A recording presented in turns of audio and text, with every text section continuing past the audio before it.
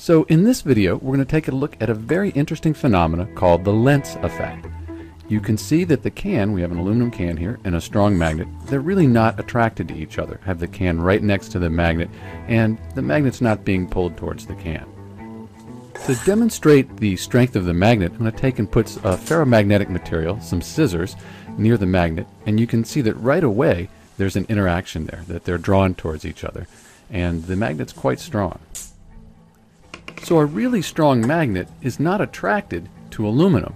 But here's the interesting thing. When we move an aluminum can near the magnet, we start seeing that an interaction takes place. The magnet starts moving back and forth as we continually move that aluminum can by it. So there's some interaction that's happening here. It's possible that just moving the can caused the air to move, and that moving air is what made the magnet start to move.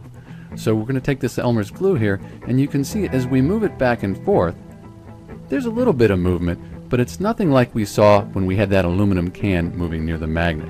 So the motion of the aluminum can somehow is causing the interaction between it and the magnet.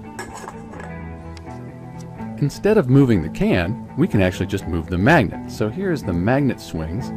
You can see again that interaction.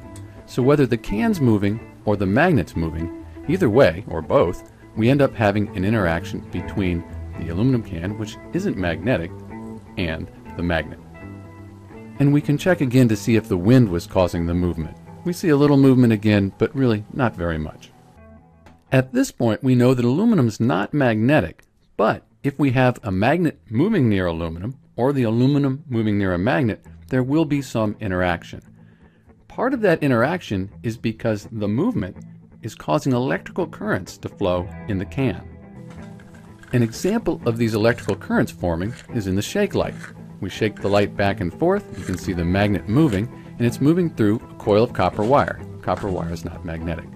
As it moves through that copper wire, it's forming electrical currents, just like we had forming in our can. We store those electrical currents in these batteries, and then we can use the shake light later to generate light when we might need it.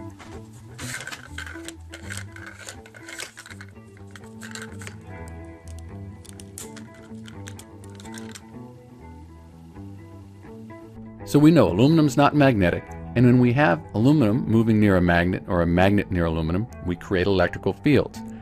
Whenever we create an electrical field, it also creates a magnetic field. So here we have a nail and it's got a copper wire wrapped around it and one end is connected to the battery, the other end's not yet connected. So we're going to take and sprinkle some iron filings right on top of the paper here and we really don't see much happening. There might be a little bit of a pattern from when I magnetized the nail a bit earlier, but not much. Now, if we're to take and connect that magnet to the battery, electricity will flow. And you can see, as soon as electricity starts flowing, that we form a magnetic field. And you can see the two poles very clearly on that nail underneath there. So when we have electricity flowing, we generate a magnetic field. Let's take a look at this one more time. The circuit is completed so electricity is flowing and I'm sprinkling the iron filings on and you can see those magnetic force lines being resolved there. When we have electricity flowing, we're going to have magnetism. So let's recap. We have a magnet moving near our aluminum can and that's causing electrical currents to form. When those electrical currents form, we generate a magnetic field. So looking at our can, we have a magnet moving but then we have a magnetic field around the can. And that's just like having two magnets next to each other. And when you have two magnets next to each other, they're going to interact. And that's why we see the can move.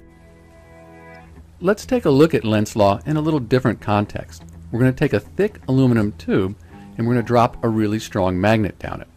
When that magnet falls down the tube, we're going to be creating electricity and a magnetic field. So watch what happens. I'll start by dropping a quarter down the tube just to show you how quickly it falls. And now the magnet.